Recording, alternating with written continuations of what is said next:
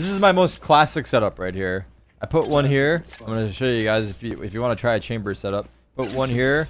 I put one here.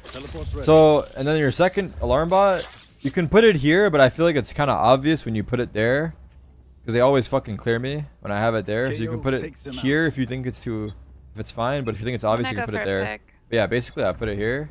A gift. I TP, Uh, amen. and then now I can when this is going off, I know they're coming, so I can just sit here and do How many nothing. drop? It's like Killjoy, but on I'm chamber. main. I'm blind. Wait, what the fuck happened to my trip? One's running at B. Oh shit, I put it too far back. I was trying to explain. I put it too far back. You gotta put it close. Ah, fuck this shit. I'm not explaining shit no more. it.